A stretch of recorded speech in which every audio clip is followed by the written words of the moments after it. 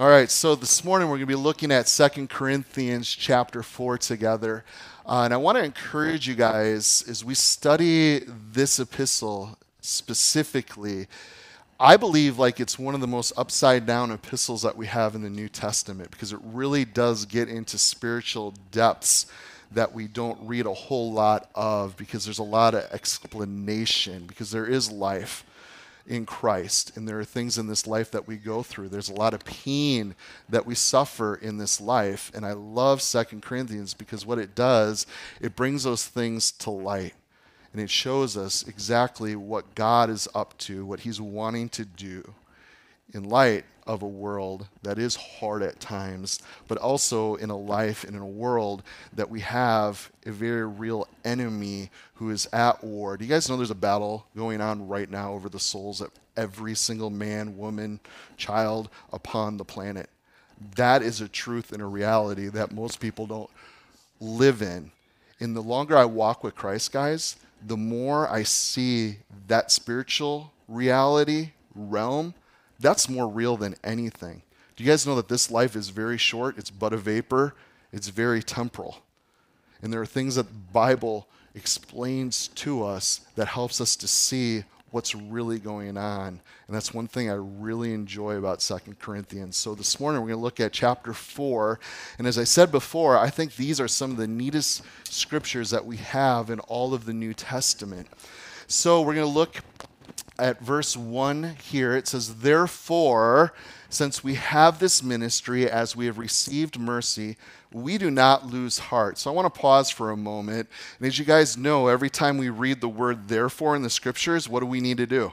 We need to ask, why is it there for? I mean, what, what's going on? What's the context? What has been said before this? in the first three chapters, we've seen a lot from the Apostle Paul just laying out truths about who God is and the precious gospel that we've been entrusted with. And as a result of believing the gospel, we are the fragrance of Christ wherever we go, no matter what we're going through in this life. And there's this ministry, this ministry of reconciliation, which we're going to get to in chapter 5.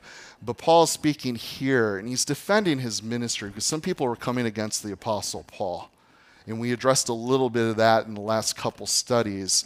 But again, the Apostle Paul was called by God to take the gospel to who? To the Gentile world. And he took that calling serious because he did missions. That's all he did with the rest of his life. We're going to go for it. Everywhere we go, we're going to go and we're going to share Jesus Christ with all. And it's through mercy that he's received that. And the thing that I love here, did you guys catch that he says we do not lose heart? Okay? And that's one thing I want to really encourage you guys um, in the ministries God has called you to. Don't lose heart. And that's the thing that's cool when you're called by the Lord because it's a calling. And it doesn't matter what happens in life, how the ministry shakes out. Because if you're called, that's just what you do. I think about some who, like, say, in a formal ministry, like being a pastor, okay, you're called to do that type of ministry. Now, this can apply to any ministry that we're called to in life. But if you're called to something, how do you ever retire from that? Does that make sense? If God's called you and you have a purpose and He has a plan, how do you say, hey, I'm done with this calling you've placed upon my life. I am no longer going to preach the word or share the gospel or serve the poor or love my neighbor. Whatever God's calling you to, how do you retire from that? It doesn't make sense. But I think part of the reason is we have this off mentality as Christians because we're looking at ministry as a job. People retire from jobs all the time, right? But what are we called to and what's the purpose in our life? Job might be a part of that calling, but in that, what are we called to? What's the purpose God's given to us, and how do we fulfill that ministry? So, Paul here is speaking to this since we have this ministry, okay, this gospel of grace, that we received mercy, we don't lose heart. And again, guys, if God's doing the calling, be encouraged this morning. This is what God has called you to. You don't lose heart. Because how many people have walked away? How many people have allowed Satan to get the best of them that they got derailed from their ministry? I know people today, clear as day, God called them. Called them. And they said, no, that's too hard. I want to do this instead.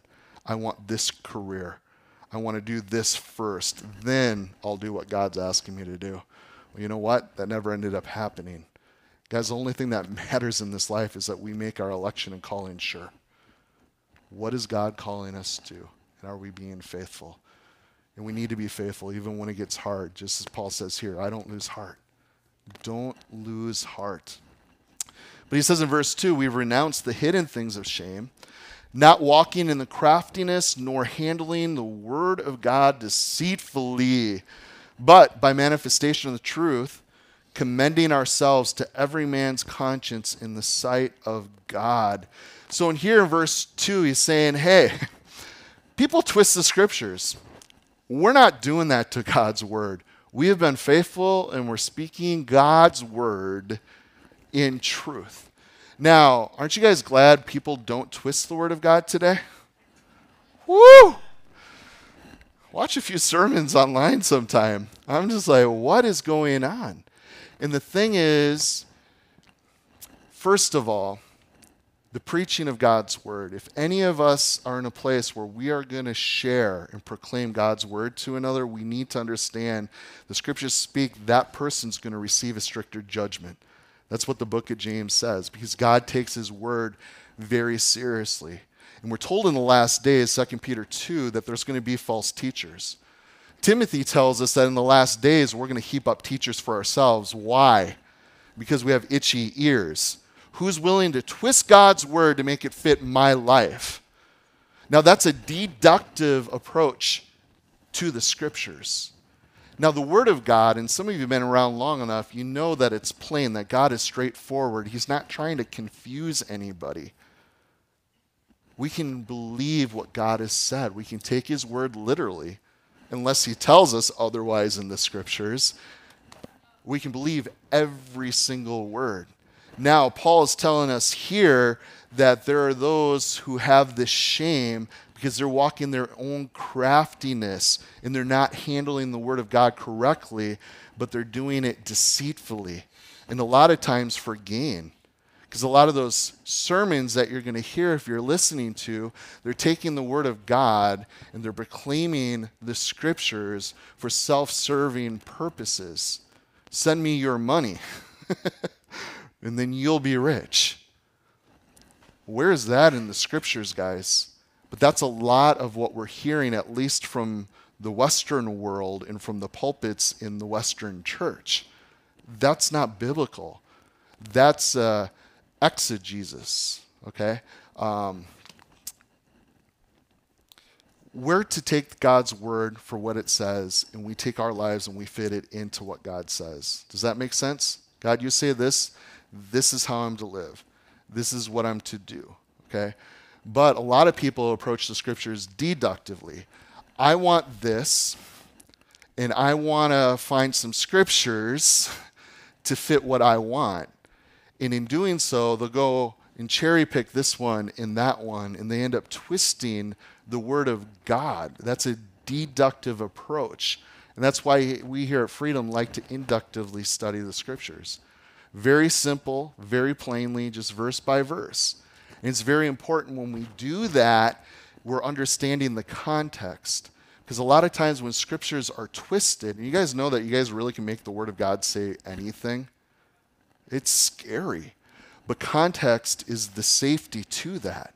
And that's why I love that we're working through the books because we understand the context in which God has been speaking. Even this morning, as we get into a few of these verses, we have the previous chapters that bring some clarity to what he's speaking to that will protect us from bad theology, okay? To lies, really, because what you're doing when you're twisting the scriptures is you're allowing Satan to lie. He's the father of lies. And we see that he is at work in the church today because the truth is not being proclaimed because we are deductively approaching the scriptures. So I want to encourage you guys when you study the scriptures, and we're all called to do that, aren't we? Okay, I want you guys to be able to trust me, but I also want you guys to question everything I ever say. I want you to be in Acts 17:11, to be a Berean. Go back to the scriptures, receive the word with all readiness, but you need to be fair-minded. Go back and look at God's word. Is this actually what he is saying? Check out everything you ever hear from any preacher. Does this line up in the Word? Because today we're looking, a lot of Christians are looking for the new insight. Okay? This prophetic ministry over here. And if you listen to this guy, he's unpacking things that have never been heard before because he has special revelation. He's been able to interpret things in the scriptures that no one else has. That's a load of crap the Bible says that the Bible is for no one's personal interpretation, Peter tells us. Do you guys understand that? And I'm always weary of someone like, hey, God revealed this to me, and I have this insight that nobody else has. Well, let me hear it, buddy. And they share. And it's like, well, that's wrong. God is reasonable. I love Isaiah's invitation in chapter 1. God says, Come, let us reason together. He wants us to come and you know study the scriptures and we need to do that rightly and i know i'm going off a little bit on this but i want you guys to be those who take god's word seriously because he's asked us to do that okay? It's not just the pastor's job to study the scripture show up on a sunday and spoon feed everybody that comes. We're all to be in the word of god. We're all to be growing. And how do we do that? We inductively study the scriptures. We allow God to say what he says plainly, straightforwardly. This is what you declare, God. Now, what do I do with that? I got to take my life and fit it into what you say. And we're living in a day and an age where they're twisting scripture. Don't you guys know that love is love? Homosexuality is okay. It's not, guys. It is still sin. Fornication Sleeping with a boyfriend or girlfriend before marriage, that is sin. Looking at a person lustfully, that is sin. You know, people can twist the scriptures to justify all of those things. We suppress the truth, don't we? Romans chapter 1. And we see that today. And we see people doing that with the scriptures. That's not actually what the Bible says.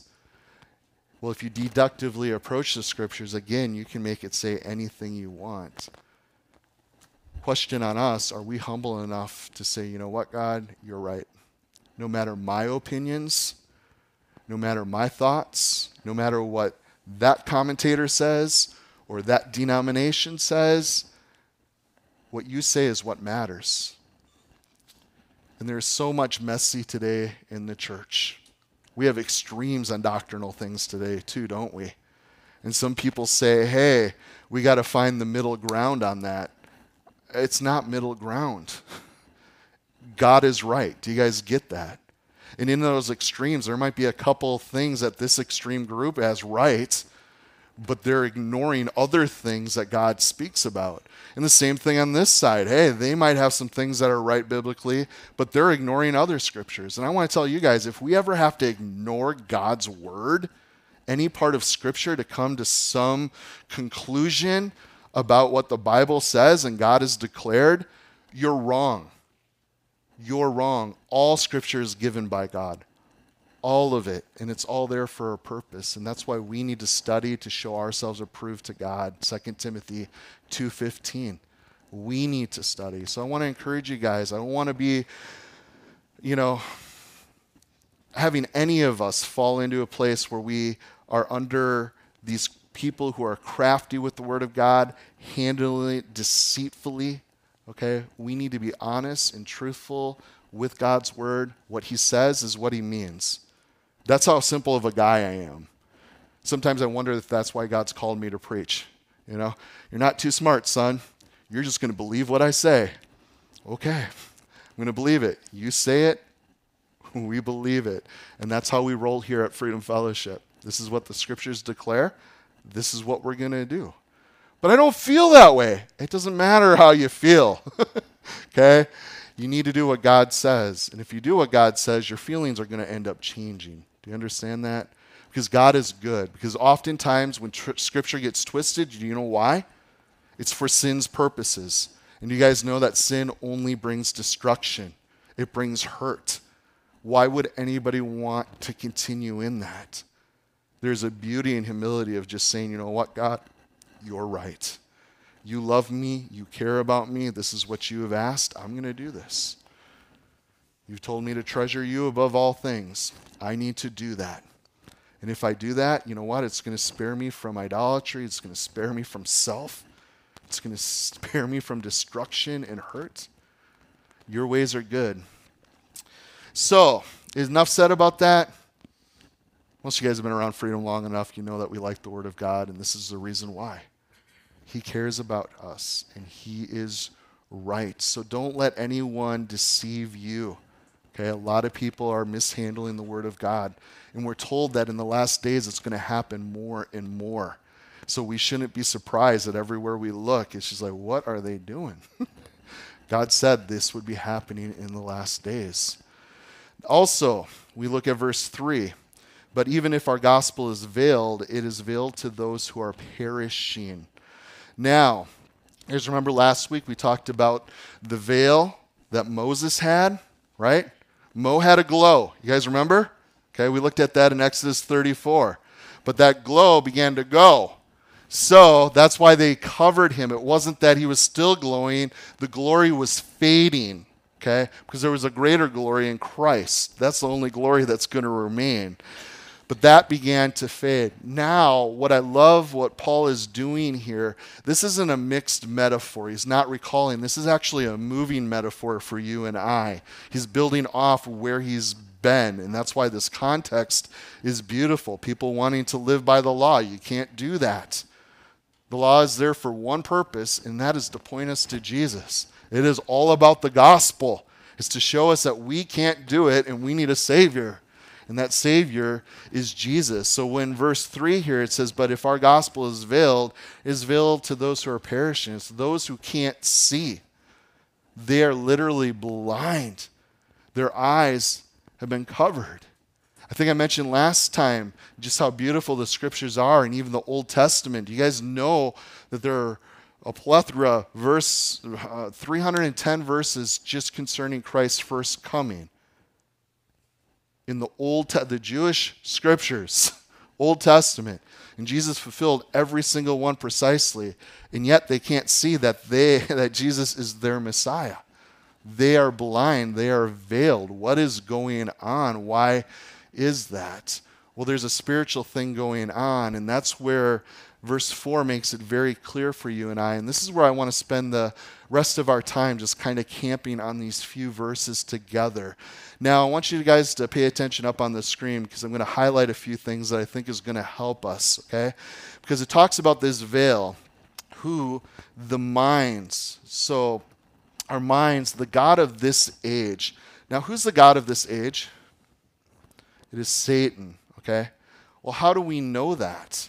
Okay, you guys need to step back. Again, this is why it's good that we know the scriptures and we've studied to show ourselves approved. Because a lot of people will say, well, wait, wait, wait a minute. I thought all the earths and all that it contains belong to the Lord. Now you're saying that the God of this age is Satan, in that it actually belongs to him? What's going on? Well, didn't Jesus even say that Satan was the God of this world? He did. Do you guys remember when Jesus, early in his ministry, was driven into the wilderness for 40 days? Do you guys remember that Satan came to tempt him? And one of those temptations was what? Hey, I, Satan, have all the kingdoms of this world. And all the glory of these kingdoms, they belong to me and Jesus.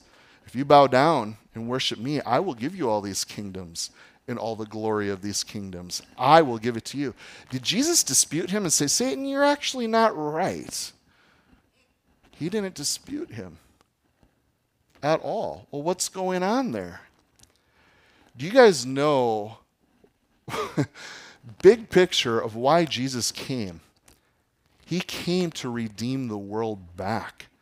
Because the world was entrusted by God to who? To us. Adam and Eve. This is all yours. You're to take care of it. And they forfeited it to Satan. Because Satan came and did what? Twisted the word of God. Crafty little bugger, huh? Okay? And a lot of times when we see preachers who are crafty, you got to look at for what they are. Okay? They're a tool of the enemies. That's all that's going on. And we need to know the truth. God said this. But wait, wait, wait, a minute. Has he really said? No. What God says is what he means, guys. Very black and white. And we're told in the scriptures that man forfeit that title deed of the earth. It was given over to Satan. And yeah, he is the God of this age. And a lot of people don't like thinking about this. But again, do we want to get what the Bible teaches? I do.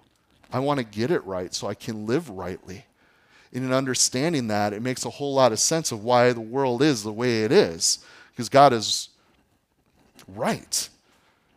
You guys see all the chaos, war, evil in the world today? Does that kind of make sense if Satan's the God of this age? It does.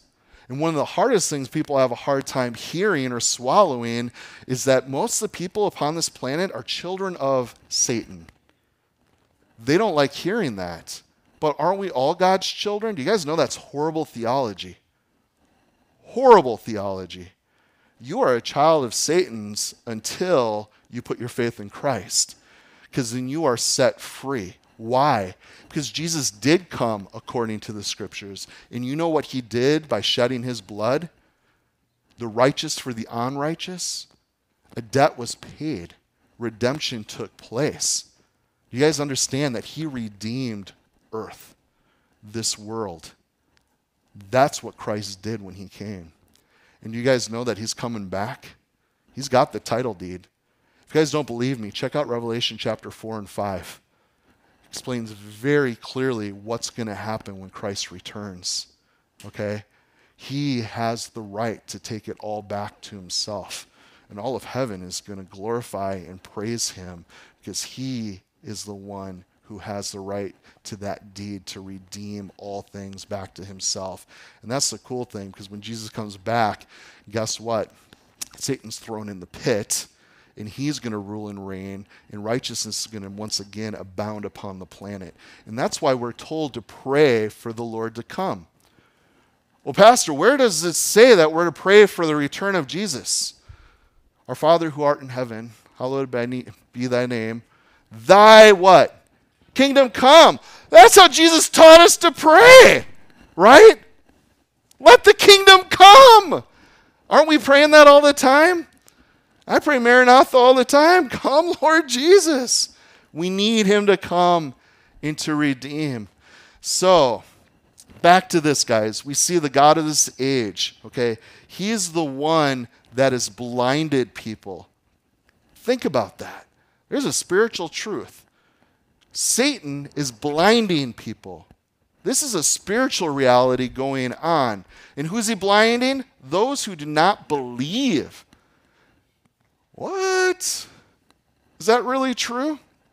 How many of you guys share your faith with others? Ever speak to an unbeliever that's just completely unreasonable? They can be reasonable about everything else. You can have a civil conversation with them why the Packers aren't so good this year. I agree. This is what's going on. Yeah, yeah, yeah. Talk about anything with them. But the second you start talking about Jesus, they blow a lid. You guys know what I'm talking about? Why? Because they are blinded. You can be reasonable. We can make sense of things in this life. But when it comes to truth about who God is, about the gospel, about Jesus, you are the most unreasonable person in the world.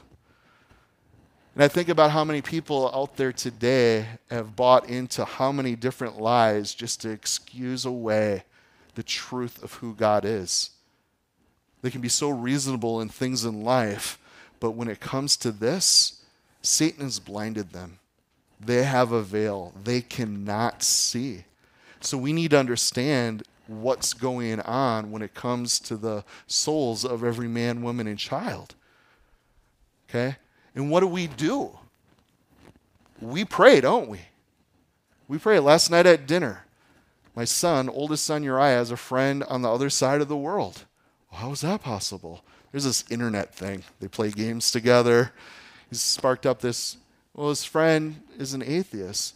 Well, what should we do? Pray. We need to start praying for him. And that's what we're going to do as a family.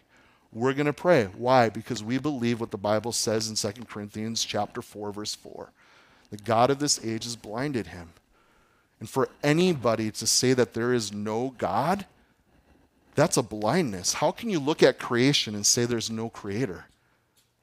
That's hard to do. The Bible says only a fool says that. Well, why are they so foolish? Because they're blind. How can a person look at the gospel of Jesus Christ, which is the greatest news of all time, and say, hey, I want nothing to do with a God who loves me, who's created me to have fellowship with him, who wants me to be in heaven with him forever and ever and ever? What kind of stupid does there have to be for someone to say, I don't want that? I would rather live in my sin to live in bondage. You guys understand this is bondage. I've had atheists tell me, Why are you a Christian? You have to do all these things. You don't have the freedom to enjoy life. I'm like, I got all the freedom I want in life. Christ has set me free. You're the one in bondage. Do you have to drink? Are you free from being done being an alcoholic? They can't stop. They're not free in Christ. Christ sets us free. It's for freedom's sake. Didn't we read that last week in chapter 3? Again, guys, context is so important. We're free. So, those who don't believe, they're in bondage. Okay? Least what? the light of the gospel. Okay? Things are dark out there. How are people going to see? Well, they need a light. And I'm, a, I'm not ashamed of the gospel, for it is the power of God unto salvation, Romans 1.16. People need to hear the good news. How are they going to hear unless there's a preacher? God has asked us to go into the world and preach the gospel, guys. We need to be doing that. How are they going to know any differently? We need to share. Just in the last couple of weeks, I spoke to an elderly lady who actually went to church. Got to share the gospel with her. She's like, I've never heard this before. And you've been going to church. What you've been hearing at church? The church may have been preaching the gospel, I'm not sure. But for her not to see the gospel, I know Satan was at work there, keeping her blind from Jesus. And Satan's good. He'll have us go and do a lot of different things in the dark. Kind of like legalism. Look at how good I am. How many people in the world today think they're going to heaven because they're a good person? When God has said plainly in the word, there are none good. No, not one. And all you non good people, which is all of you, need to repent and put your faith in Jesus. Pretty simple, but the world doesn't like that even though it's the best thing anybody can do. So, the light of the gospel is of what? It's of the glory of Christ. And this is where this gets beautiful, guys. We're told there's this glory of Christ who is the image of God. Didn't Jesus say, Hey, Philip, if you've seen me, you've seen who? God the Father. Right? Show us the Father. Jesus is God. Do you guys understand that? He's express image. We read upstairs before prayer, Hebrews chapter 1. Read that later, guys, if you weren't there. It speaks all. Let's consider Jesus, who he is. He's the express image of God.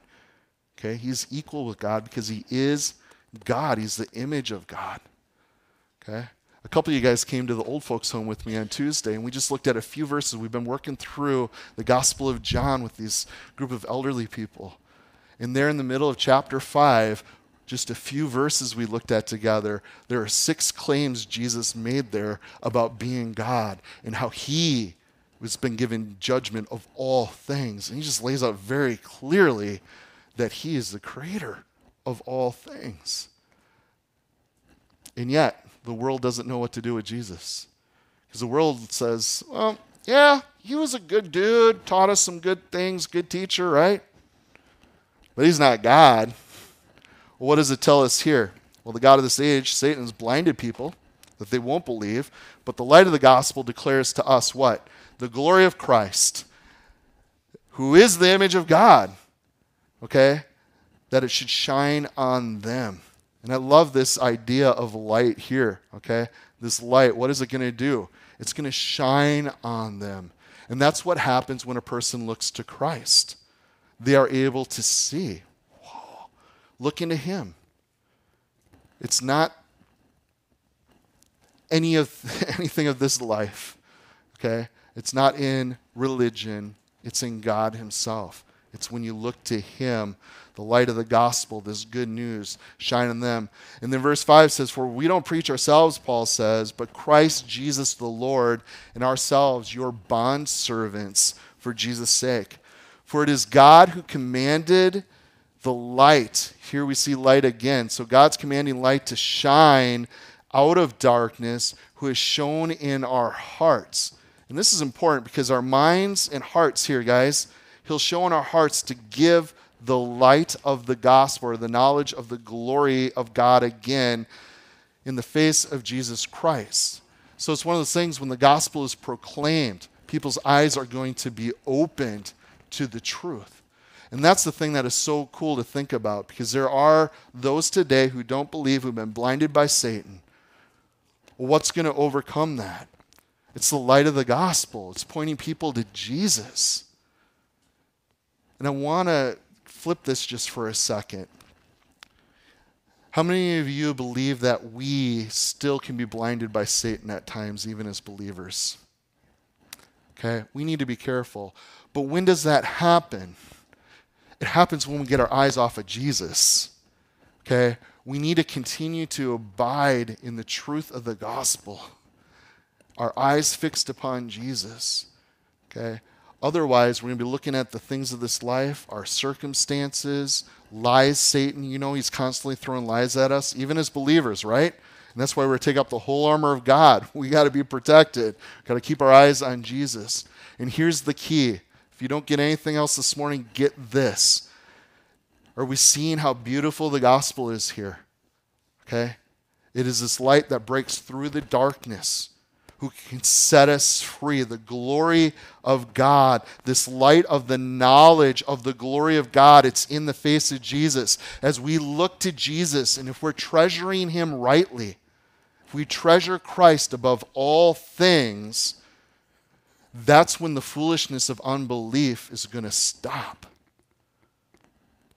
And that's the problem I believe today with so many is they don't rightly divide the word and understand that it is all Jesus.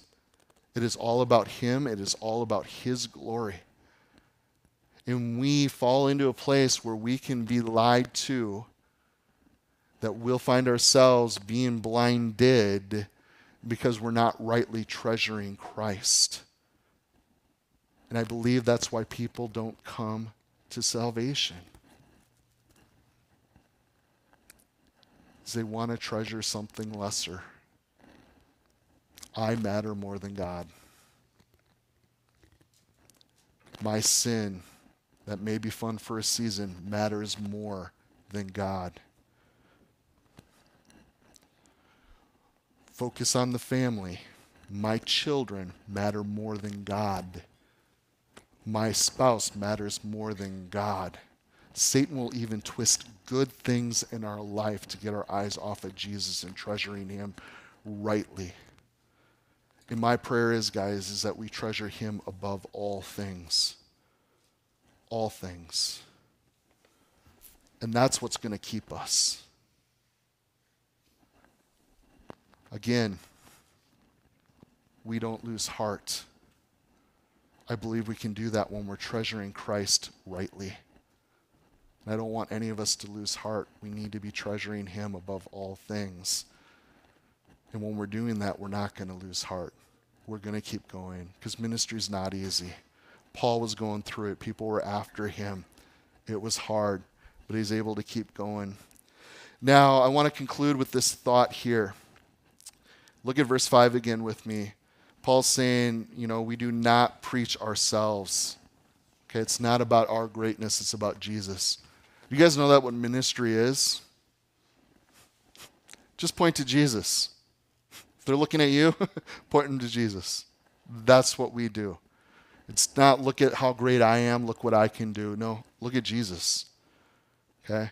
And if there is any good that you see here, it's because of Him. It's His grace in me. I am what I am by the grace of God. Look to Jesus. So we don't look to ourselves, but Christ Jesus the Lord, in ourselves, your bondservants for Jesus' sake. Okay? And that's how I would ask you guys to pray for your pastors. Pray for us. Pray for Lance. Pray for me. Pray for other pastors you know. That it wouldn't be about us, that it's all about Jesus. Because let me tell you what, those are the type of guys I like to be ministered to by who's over themselves. It's not about them, it's about Jesus. And that's what I love about Paul. Follow me as he does what? Follows Christ. Don't you want that to be said of each of you? You know, I do want to be walking with Jesus in such a way that I can say, hey, come along. That's discipleship, guys. Let's do life together. I'm loving Jesus. Come with me. I'm looking to him. Look at him with me. That's how simple it is. So let's be praying. Satan's blinding people today. And you can look at how foolish the blindness is. We teach our kids there's no God. That's one of the most foolish things I've ever heard. How can you say there's no God? But that's what we teach our children. It's sick, it's twisted. Satan's taught a bunch of young people in the Middle East that Israel's the little Satan. No, Israel's a sinful people that need a Savior, and their Savior is Jesus. Just like every single Muslim upon the planet, they are all sinners in need of a Savior. And Jesus, I don't know if you guys know this or not, He died for the Muslim too. We need to be praying because the whole world is under the sway of the wicked one. And what can we do? It's a spiritual battle. There's a blindness going on. That's why we need to be praying and praying and praying. Okay, I've had people in my life where I've shared the gospel with, and their heart is so hard and they're so blind, they want nothing to do. And there's been times where I felt the Spirit say, Pause, you're done preaching to them. Get on your knees and start praying for them. This is a spiritual thing. And sure enough, there was some breakthrough. And oftentimes it wasn't me who got to lead them to Christ, it was someone else or something God was doing in their life. So let's be praying. Sound good? Does this passage make sense? Do you guys see why this is really important for you and I to get? Okay, there's a context here. Satan's up to a lot. He knows his hour is getting close. He's trying to take down as many as he can.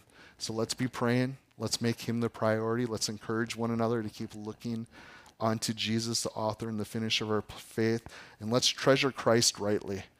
I believe that's the key here, and that we won't get duped by our enemy if we're looking to Jesus. Amen. So, Father, we are thankful for your word here this morning. I think it's so cool that you were the one that commanded light to shine out of darkness. Maybe shown into our hearts the truth of who you are to know you, Jesus. I mean, that's what life is all about. That's eternal life, to know the one true living God and Jesus Christ whom we sent. God, and it's not just a, a mental thing, it's a heart thing. And I'm so thankful. We're thankful for how you shed abroad in our hearts your love, that we know the gospel is truth. And that's why we want to share this good news with everyone. But we know that there's a very real enemy out there. He's blinding people today. And we do want to pray for our loved ones. I know we all probably have family that's still walking on belief. There's people right here in our city, in our community, throughout this valley, or all over this world that are just completely blind and they don't even know it. God, we know that you're in the business of saving people. That's what you do. We pray that you would be opening hearts and minds to the truth of the gospel, that you'd open doors wide, and that we would be bold with sharing that good news with others. And I do want to pray specifically if there are areas in our own lives that Satan, you know, has been lying to us about, God, that we're blind to. Open our eyes, please. Help us to discern those things and to walk in truth. Thank you so much, Jesus, for all that you have done, all that you're wanting to do. I pray that we would be a believing people, that we would be in the light as you are in the light. And pray in your name. Amen. Amen.